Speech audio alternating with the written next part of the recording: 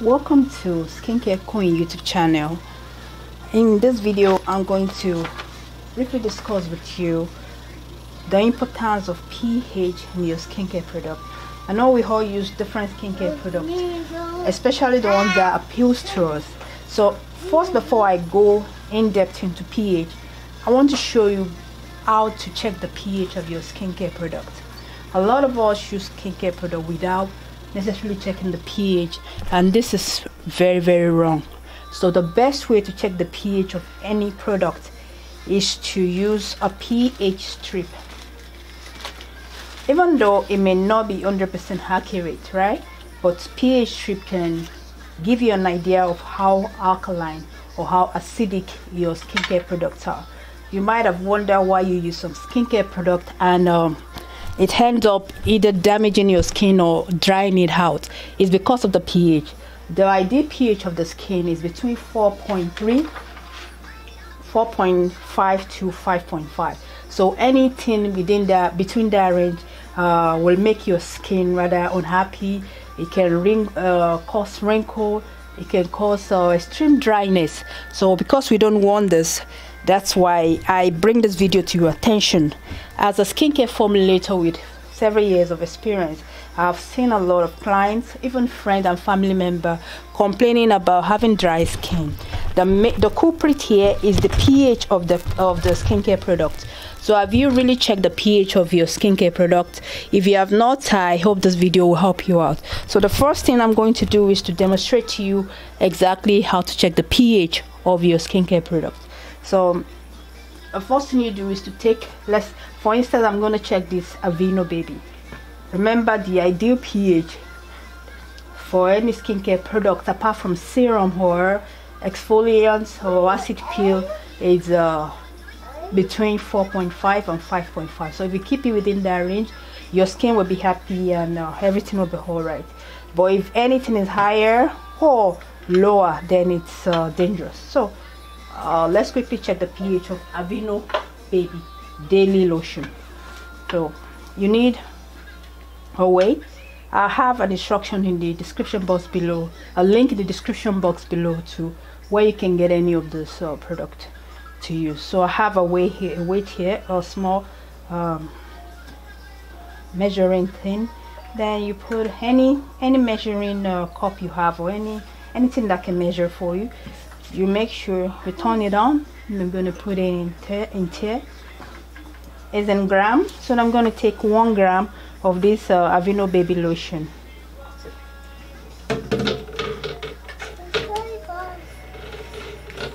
Okay I have 1.1 gram. It's not that bad. So I'm going to add water to it to make it 10 gram. So basically one in one ratio one to nine. Okay so one gram of water then 10 gram of uh, 1 gram of your lotion then 10 gram of distilled water. So we're going to put distilled water to it to make it up to 10 grams.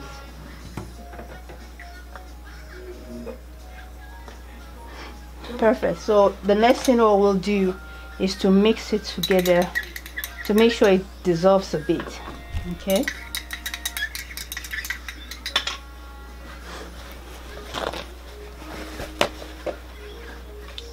I want to make sure it dissolves a bit so we're going to mix that lotion or whatever it is together to the essence of this is to check the pH of this cream to make sure it's uh, within the acceptable range for our little baby skin. You can do this to any other product that you are using just to keep yourself safe. If you notice you are having too much dryness then the pH of your skincare product is um, maybe too low or maybe too high depending on the purpose of that. So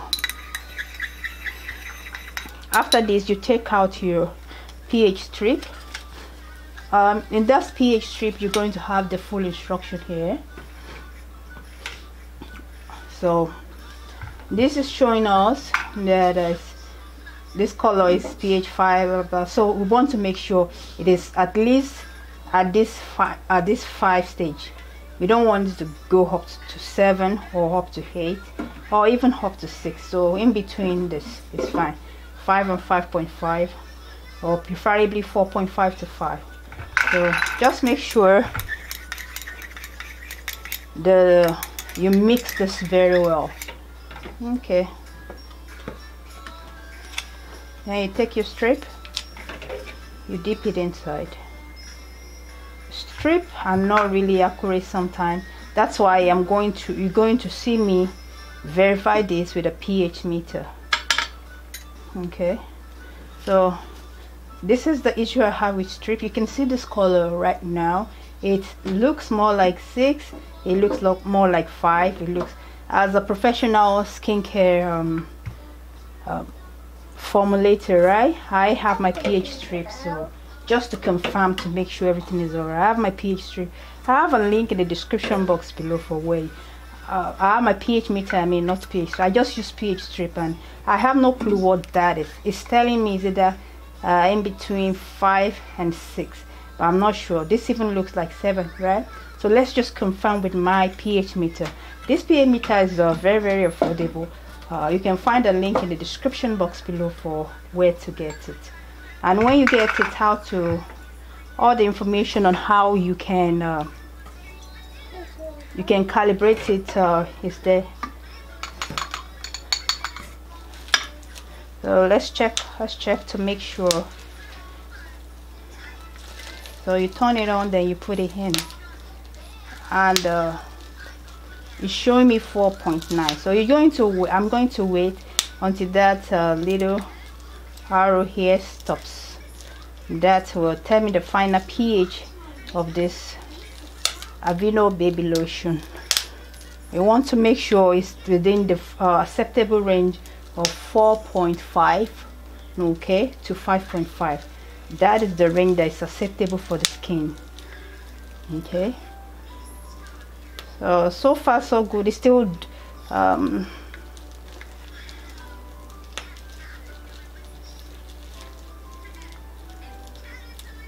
I'll just give it a few more minutes to see what it comes up with. So you can see the pH is I forgot to take it out. So the pH is at least 4.8 okay so that's perfect. For the skin to be happy has to be between 4.5 and 5.5 so we give it to Aveeno baby. They have a very uh, good pH for the skin. So this is very good for your baby skin. You have nothing to worry about. Note this is not a paid paid advertisement. No no have no clue who they are.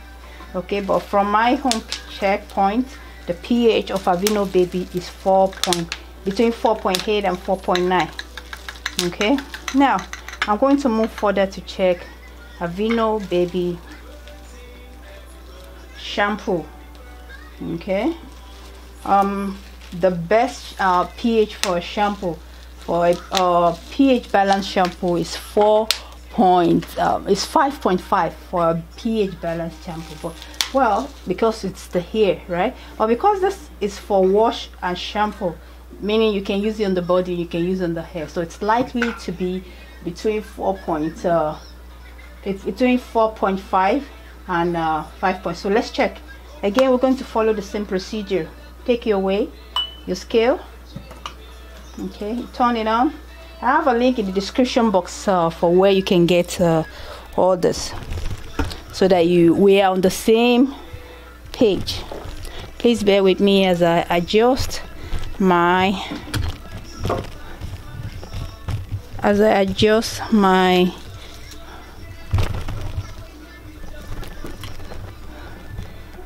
okay so let's go. We have it you put you press here you put it in then you're going to put press here so is in gram. I'm going to make sure is uh, we put in one gram.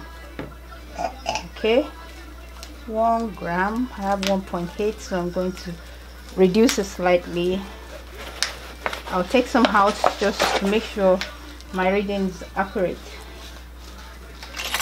Because it's one in nine. It has to be one in nine to be accurate. Uh, Still have 1.5 1.3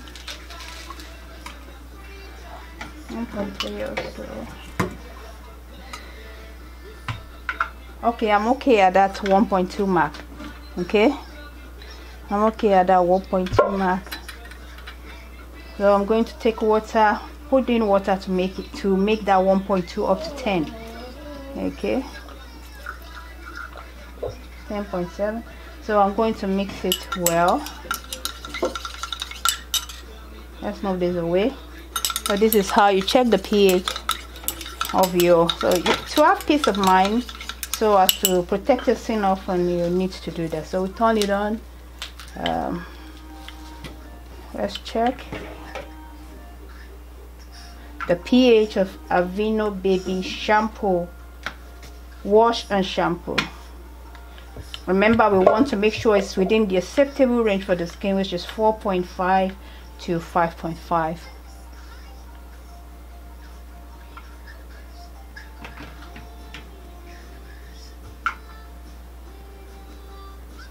okay so it's 4.6 so that's okay for baby gentle skin. 4.6 is okay. Not too high not too low just perfect for the baby baby skin. So this is how you check the pH of a skincare product. Now you ask me why do you have to go through all this stress? I'm telling you there are lots and lots of skincare products out there. And as a formulator before I release any skincare product to the market I have to make sure it's pH balanced and it won't affect my client's uh, my client or customer's skin. I have a reputation to to protect so I make sure it's pH balanced. If you're using any skincare product that's drying you out and you are really worried as to what's going on it's highly essential that you get yourself a pH meter or you can at least get a pH strip but the problem with pH strip is that it's not that accurate but if you have yourself a pH meter you know you can use it for a long time and uh, we'll be able to check the pH of your skin. Now before I go forward I want to tell you the danger of using uh, skincare product that have a low pH or too high pH. Okay so the first thing I want you to know is that pH is called a potential hydrogen okay? It refers to the acid or alkaline ratio of a substance you know including the food we eat even and skincare products. So your skin itself the natural pH as I said before of the skin is between 4.5 and 5.5 okay? And uh, from 0 to 7 0 okay is uh, 0 is the most acidic. Why 7 is the neutral? No we all know this from high school. Why 14 is the most alkaline okay? So that means our skin okay is on the acidic side. We are on the acidic side of the equation. Remember 4.5 okay? And the pH starts from 0 to 14 7 being neutral. You don't want neutral. Our skin is to be, to be healthy it has to be acidic okay? So first reason why our skin is a bit acidic is to pr protect us okay against you know external foreign elements that can uh, can attack our skin and affect us in the long run so you know it's a perfect uh, way God uh, created us. So it keeps out all germs, bacteria, it keeps them away from the skin. That's why it's very, very acidic. Now, if you use skincare products that are too alkaline, right? It's you are you are subjecting yourself to having so many bad. Is it bad aching, wrinkles, pimples, breakout? So this is why most people are having this issue. They are having breakout issue because they use too much. Excuse me, please they use too much alkaline product okay they are not their, their skincare the skincare product they're using is not balanced for that of the skin and it causes a lot a lot i mean a lot of mess so that being said make sure you know the ph of the skincare product you are using. Do not just use any skincare product without knowing the ph. If you buy any skincare product uh, online or offline wherever and you notice it's breaking you out or it's drying you out the first thing you want to know is uh, is to know the pH. Once you check the pH and you notice is the pH that's the problem, then you have to stop using that skincare product. Also, I want to let you know that there are lots and millions of skincare products out there, and um, it's crazy how uh, the skincare industry that is not well regulated is uh, perhaps ripping people off. Some, not all, skincare line. So you have to be careful of skincare products that you use. That a product is expensive doesn't mean it's the best for you. So please and please watch out uh, on this channel. I will be recommending skincare product that i use for you but i just it's not it's not sponsored video it's just something that I want to tell you. Uh, this is the product I use and why I use them. Uh, uh, I have so many ideas. I have so many suggestions, but I want to take you one step at a time. Thank you so much for watching. If you have any question on where to get this, uh, and I recommend this Hanna pH meter. It's very affordable, so you can make sure you have one at home especially to make sure you keep your also before i go further i want to let you know that if you're using a serum serum oftentimes have ph that is also on the high side. So serum because serum works very because serum work very different from other skincare products.